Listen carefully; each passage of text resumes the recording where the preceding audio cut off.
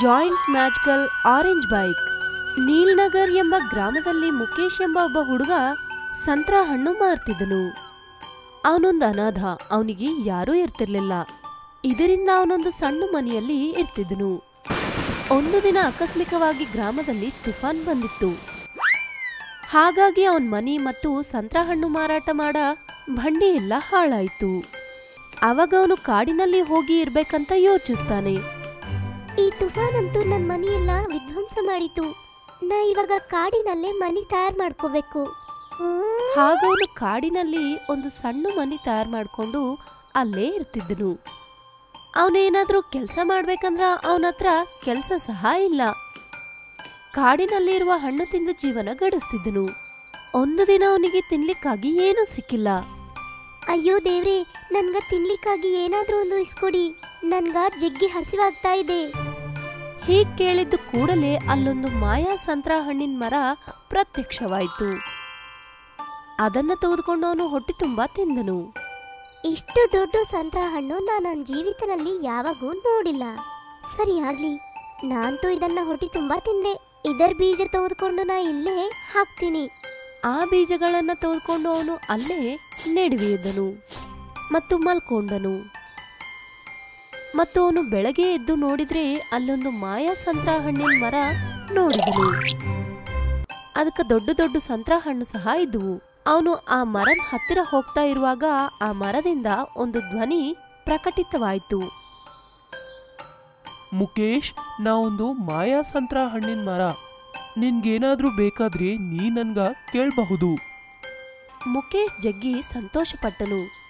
ಸರಿ ನಾನು ಸಮಯ ಬಂದಾಗ ಕೇಳ್ತೀನಿ. ಮುಖೇಶ್ ಒಂದು ದಿನ ಕಾಡಿನಲ್ಲಿ ಎಲ್ಲಿಗೋ ಹೋಗ್ತಿದ್ದನು. ಅವಾಗ ತನ್ನ ಗೆಳೆಯ ಒಬ್ಬವ ಫಾರಿನ್ ಬೈಕ್ ಹಾಕೊಂಡು ಅಲ್ಲಿಗೆ ಬಂದನು. ಅದನ್ನು ನೋಡಿದ್ದು ಮುಖೇಶ್ ಹೀಗಂದನು.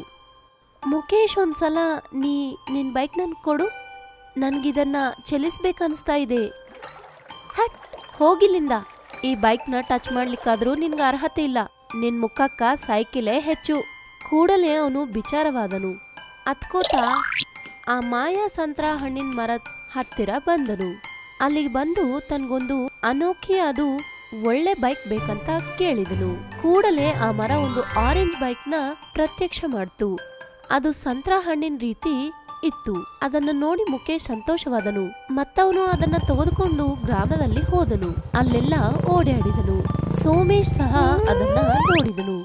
ಅರೆ, ಇವನ ಹತ್ರ ಇಷ್ಟು ಒಳ್ಳೆ ಬೈಕಾ? ಅದು ಅನೋಖಿನಾಗಿ ಇತ್ತು. ನಾ ಯಾವ್ದೋ ಒಂಥರ ಆ ಬೈಕ್ನ ಅಲ್ಲಿಂದ ತಗೋಬೇಕು. ಈ ರೀತಿಯಾಗಿ ಸೋಮೇಶ್ ಕಾಡಿನಲ್ಲಿ ಹೋಗಿ ಮುಖೇಶ್ ಮಲ್ಕೊಂಡಿರುವಾಗ ಆ ಬೈಕ್ನ ಕಳ್ಳು ಮಾಡಲು ಪ್ರಯತ್ನ ಮಾಡ್ತಾನೆ. ಅವಾಗ ಮಾಯಾ ಸಂತ್ರ ಹಣ್ಣಿನ ಮರ ಆ ಬೈಕ್ನ ವಿಶಾಲವಾದ ದೊಡ್ಡ ಬೈಕಿನ ತರ ಬದಲಾಸ್ತು. ಇದನ್ನು ನೋಡಿದ್ದ ಸೋಮೇಶ್, ಅಯ್ಯೋ, ದೇವ್ರೇ, ನನ್ನ ಕಾಪಾಡಿ ನನ್ನ ಕಾಪಾಡಿ, ಈ ಬೈಕ್ ನನ್ನ ಹೊಡಿತಾ ಇದೆ. ಬೈಕ್ ಸೋಮೇಶ್ನ ಹೊಡೆದು ಹೊಡೆದು ಅಲ್ಲಿಂದ ಹೊಂಟಾಕಿತು ಇದನ್ನು ನೋಡಿದ್ದು ಮುಖೇಶ್ ನಕ್ಕೋತಾ ಇದ್ದನು. ಅವಾಗಿಂದ ಮುಖೇಶ್ ಆ ಕಾಡಿನಲ್ಲೇ ಆ ಮರದ ಹತ್ರ ಇದ್ದನು. ಮಾಯಾ ದುಡ್ಡಿನ ಮನೆ ಮತ್ತು ಮಾಯಾ ದುಡ್ಡಿನ ಮರ. ಒಂದು ಗ್ರಾಮದಲ್ಲಿ ನಕುಲ್ ಮತ್ತು ಸಹದೇವ್ ಎಂಬ ಇಬ್ರು ಒಳ್ಳೆ ಗೆಳೆಯರಿರ್ತಿದ್ರು ಅವರಿಬ್ಬರ ಮನೆಗಳು ಅಕ್ಕಪಕ್ಕದಲ್ಲೇ ಇದ್ವು. ಅವರಿಬ್ಬರು ಕಲಿತು ಒಂದು ಮಾಲೀಕರ ಹೊಲದಲ್ಲಿ ಕೆಲಸ ಮಾಡ್ತಿದ್ರು. ಅವರಿಬ್ಬರನಲ್ಲಿ ನಕುಲ್ ಸ್ವಲ್ಪ ನಾಟಕ ಹೆಚ್ಚು ಮಾಡ್ತಿದ್ನು. ಅವನು ಕೆಲಸ ಏನೂ ಮಾಡ್ತಿರ್ಲಿಲ್ಲ. ಕೆಲಸ ಎಲ್ಲ ಸಹದೇವ್ ಮೇಲೆ ಬಿಟ್ಟು ಮರದ ಕೆಳಗಡೆ ಹೋಗಿ ಆರಾಮಾಗಿ ಮಲ್ಕೋತಿದ್ನು. ಆದರ ಸಾಯಂಕಾಲ ದುಡ್ಡು ಕೊಡೋ ಸಮಯದಲ್ಲಿ ನಕಲ್ ಬಂದು ನಾಟಕ ಮಾಡ್ಕೋತಾ ಹೀಗಂತಿದ್ದನು ಯಜಮಾನ್ರೇ ನೋಡಿರ ನಾವಿಬ್ಬರು ಕಲ್ತು ಎಷ್ಟು ಕೆಲಸ ಮಾಡಿವೋ? ಆದರೆ ಸಹದೇವ್ ಏನೂ ಅಂತಿರ್ಲಿಲ್ಲ. ಏನಕ್ಕಂದ್ರೆ ಅವರಿಬ್ಬರು ಚಿಕ್ಕ ವಯಸ್ಸಿನಿಂದೇ ಒಳ್ಳೆ ಗೆಳೆಯರು. ಇದೆಲ್ಲ ತಿಳ್ಕೊಂಡದ್ದು ಸಹದೇವ್ ಹೆಂಡತಿ ಹೀಗಂದಳು. ಅರೇ ಪತಿ ಪರಮೇಶ್ವರ ನೀವ ನಕ್ಕುಲ್ ಜೊತೆ ಕೆಲಸ ಮಾಡ್ತಿರೇಕಿ? ಅವ ನಿಮ್ನ ದಾರು ಮಾಡ್ಬೇಕನ್ಕೋತಾನೆ ನೀವು ಸ್ವಂತ ಕೆಲಸ ಮಾಡಲ್ರೇಕಿ? ಅರೇ ಶೀಲಾ ಅವಂತೂ ನಾಟಕ ಖಂಡಿತವಾಗಿ ಮಾಡ್ತಾನ ಆದ್ರ ಅವನು ನನ್ನ ಬಾಲ್ಯದ್ದು ಒಳ್ಳೆ ಗೆಳೆಯ.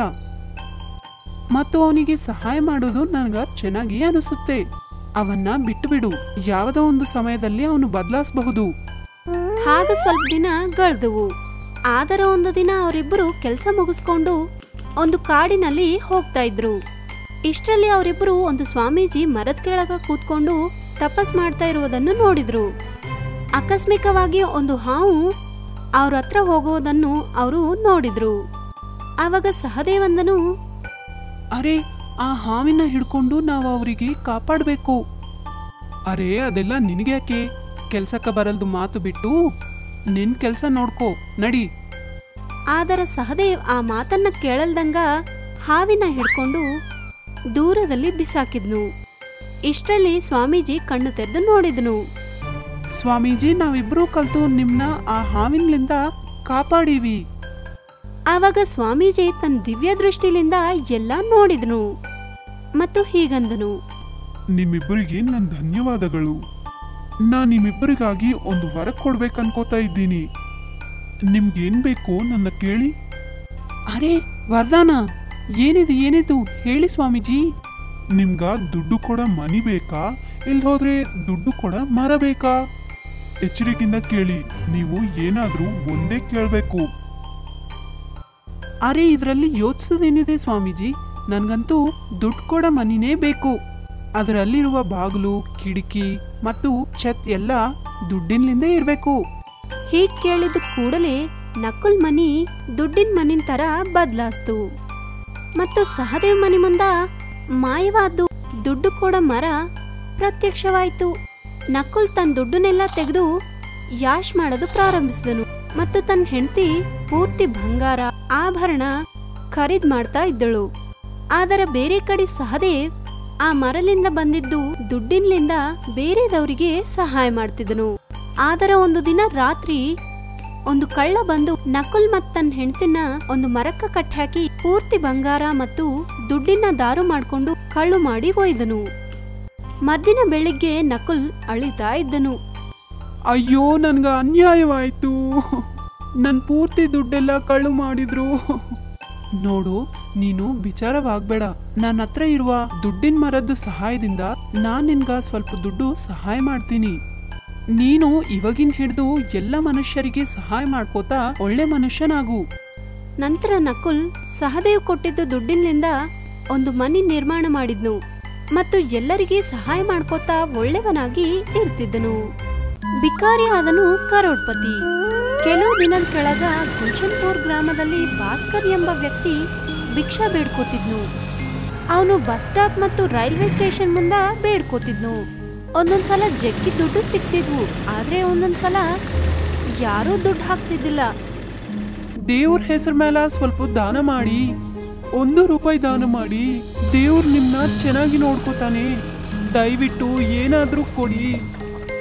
ಈ ರೀತಿಯಾಗಿ ಬೇಡ್ಕೋತಾ ಇರುವಾಗ ಸ್ವಲ್ಪ ಮಂದಿ ಏನೂ ಕೊಡದಂಗ ಹೋಗ್ತಿದ್ರು. ಆದರೆ ಒಂದು ವ್ಯಕ್ತಿ ನಿಂತು ಹೀಗಂದನು. ಏನಣ್ಣ ಕೈ ಕಾಲಿದ್ದಾವಲ್ಲ ಏನಾದ್ರೂ ಕೆಲಸ ಮಾಡ್ಕೋಬಹುದಲ್ವಾ? ದಿನ ಬೇಡ್ಕೊಲಿಕ್ಕಿ ನಾಚಿಕೆ ಆಗಲ್ದು ನಿನ್ಗ? ನಂತರ ಒಬ್ಬ ವ್ಯಕ್ತಿ ತನ್ನ ಮಗಳನ್ನ ಸ್ಕೂಲಿಗೆ ಕರ್ಕೊಂಡು ಹೋಗ್ತಾ ಇದ್ದನು. ಆವಾಗ ಆಕಸ್ಮಿಕವಾಗಿ ಆ ಹುಡುಗಿನ ಪುಸ್ತಕ ಒಂದು ಕೆಳಗಡೆ ಬಿದ್ದೋಯ್ತು.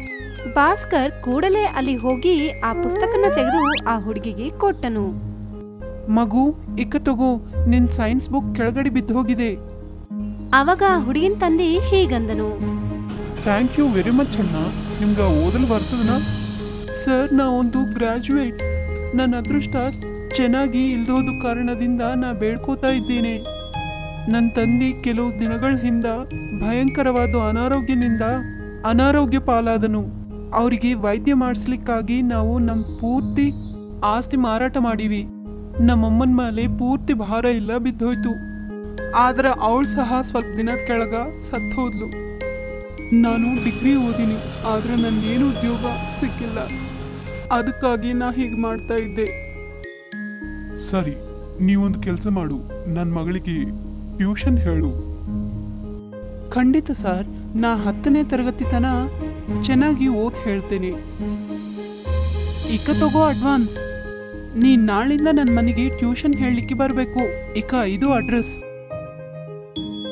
ಹಾಗ ನೋಡ್ತಾ ನೋಡ್ತಾನೆ ಆವರೇಜ್ ಸ್ಟೂಡೆಂಟ್ ಆಗಿದ್ದ ದಿವ್ಯಾ ಕ್ಲಾಸ್ನಲ್ಲಿ ಫಸ್ಟ್ ಬಂದಳು. ಎಲ್ಲ ಸಬ್ಜೆಕ್ಟ್ಗಳಲ್ಲಿ ಒಳ್ಳೆ ಮಾರ್ಕ್ಸ್ ಬಂದವು. ಇದೆಲ್ಲ ನೋಡಿದ್ದ ಟೀಚರ್ಸ್ ಮತ್ತು ಸ್ಟೂಡೆಂಟ್ಸ್ ಆಶ್ಚರ್ಯವಾದರು. ಅವಾಗೆ ಎಲ್ಲರಿಗೆ ಭಾಸ್ಕರೇ ದಿವ್ಯಾಗ ಟ್ಯೂಷನ್ ಹೇಳ್ತಾ ಇದ್ದಾರ ಅಂತ ಅರಿಯಾಯಿತು. ಹಾಗಾಗಿ ಭಾಸ್ಕರ್ ಹತ್ರ ಓದ್ಕೊಮ ಹುಡುಗರಿನ ಸಂಖ್ಯೆ ಬೆಳೆದೋಯ್ತು. ಒಂದು ದಿನ ಭಾಸ್ಕರ್.